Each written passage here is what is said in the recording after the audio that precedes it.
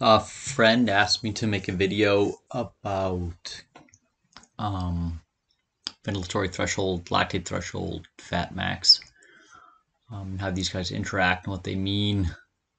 Um, I hope it's a couple weeks ago, so I hope I'm answering the question correctly, but I'm going to make an attempt to do this. So first I'm going to put up, uh, we're going to discuss the lactate threshold and ventilatory threshold a little bit. And uh, and then fat max. And so uh, there's always some confusion about these terms. Um, people kind of use them interchangeably, um, and then they use different terms meaning different things. Um, I'm going to use um, ventilatory threshold um, as uh, the ventilatory threshold 1 as uh, the anaerobic threshold, which is what uh, Wasserman and colleagues in 1973 paper kind of laid out. So that's how, how I'm defining anaerobic threshold. As you can see, even in, in the chart I put up here, this is actually from a new paper by Brooks. You have anaerobic threshold as threshold one, but you also have AT again with a question mark at threshold two because people call the second one anaerobic threshold and the first one aerobic threshold, and it gets all messy. But anyway, so the first threshold, anaerobic threshold, as defined by Wasserman in this 1973 paper, the point where you basically have um, an increase, a nonlinear increase in ventilation. You have a dissociation between um, carbon dioxide production and oxygen consumption.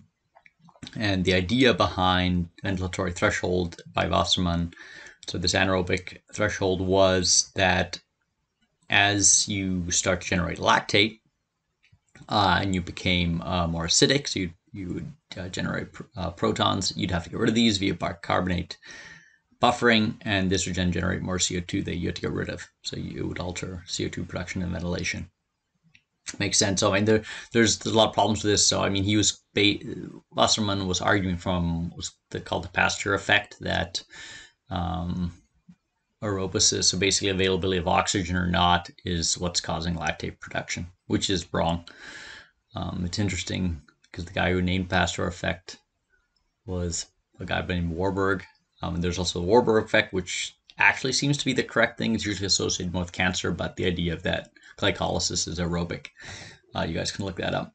It's funny that Warburg named the Pasteur effect when actually the Warburg effect seems to be the one that's actually the bioenergetic effect that seems to be happening in humans. That's a whole whole side story. But uh, the, point, the point is uh, that that's what we're talking about when we say ventilatory threshold. And that's why ventilatory threshold and lactate threshold should be similar as, as seen here, right? You get an increase in lactate at the point where ventilation changes, ventilation changing because of increased lactate. Um, and now, regardless of the, the physiological validity of some of these claims, um, there is, uh, like say, an organ organizational effect, and, and these thresholds do seem to be fairly consistent. So between ventilatory threshold 1 and lactate threshold. Now, I can uh, put up a, a graph here. Uh, so this, we can take a look at this. This is kind of ventilatory threshold versus lactate threshold. Um, on the left, with a bunch of different methods on how you can calculate the ventilatory threshold. You can do this with lactate threshold too. Lactate threshold, there's a whole bunch of different ways you can calculate it, which in itself is a problem. But nonetheless, um, you do get consistency here. You get good correlations. On the left side, see the correlations. They're pretty good. And uh, on the right side, uh, even the agreement. So the, in these kind of Bland-Altman plots, uh, the agreement is pretty good. Um, now, you know, you get some variation like 10%, 10% plus. There's always some outliers. But all in all, there's pretty good agreement between the two. Now, if you're going single athletes and not statistical numbers, um, an n of one, you always have to be careful because something could have a really good correlation statistically, but if it's not for your athlete, you need to you you need to be aware of that. Okay. Um, nonetheless, uh, what uh, how does the ventilatory threshold and lactate threshold, which we're going to say is, is, fairly similar, how does that relate then to fat max? Um, and generally speaking, fat max uh, is around ventilatory threshold 1 or below, or better said, at lactate threshold 1 or below.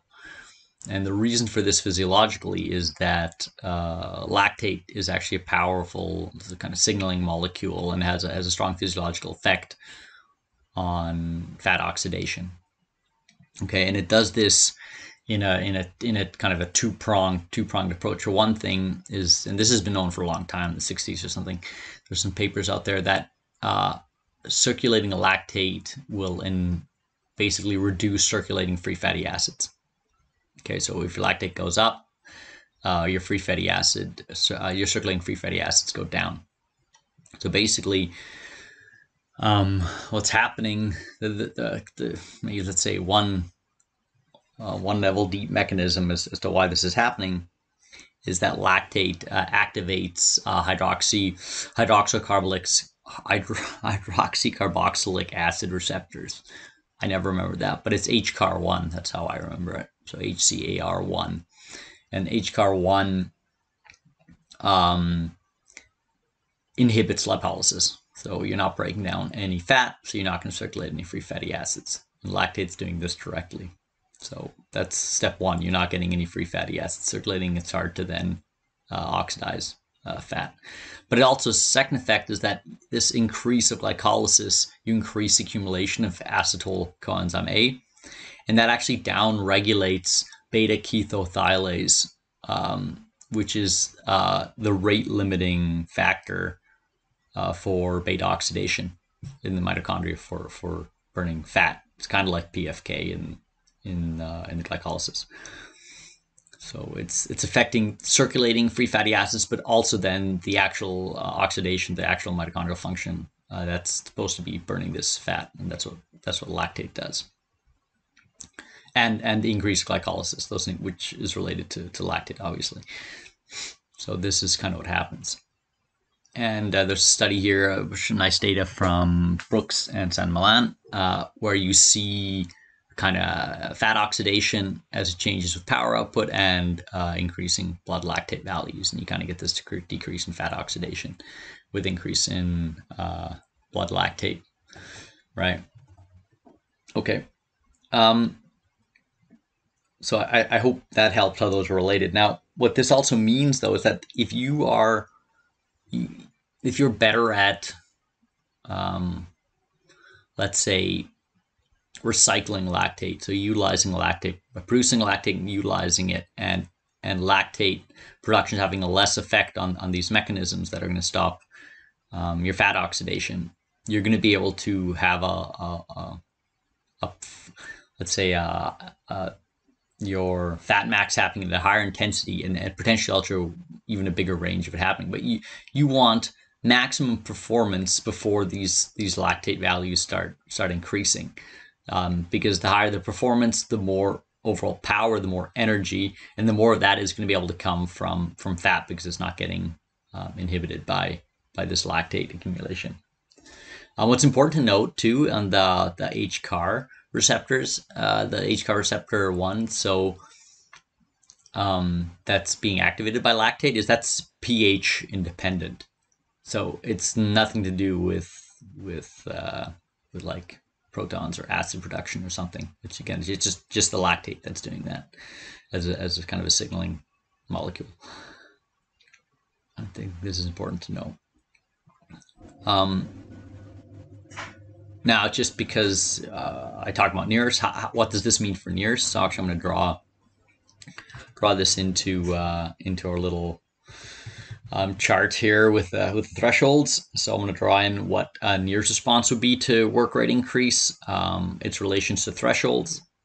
And what we then see is that kind of uh, muscle oxygen breakpoint one is related to these lactate threshold one or ventilatory threshold and anaerobic threshold, um, which means the the time before you're hitting this this this breakpoint one is where fat max is going to be it's going to be um, optimal. Now, it's hard to gauge exactly where that's going to be. Probably has a little bit to do with your fitness and what's happening, but it's going to be before before this threshold, um, for sure. And why why would muscle oxygenation even be related to this? And I think this is a really nice picture um, from a recent paper by Brooks, uh, where he talks about lactate as the basically the, the bioenergetic fulcrum so it's lactate is what is mediating between glycolytic metabolism and oxidative metabolism. Um, anytime you have lactate production, it's going to be a mix a mix of glycolysis and oxidative metabolism, keeping keeping that going. And um, it's a whole series of papers on lactate shuttles on how um, lactate is is mediates between oxidative fibers and um, non-oxidative fibers uh, to maintain energy uh, energy production, energy flux. Uh, I think that's. I hope that helps people understand why SMO2 would then be related to ventilatory threshold one, lactate threshold one, and then uh, fat max. And I hope that it, there's some explaining here of, of those concepts um, and, and, how they relate to one another. Um, thank you for listening. Bye.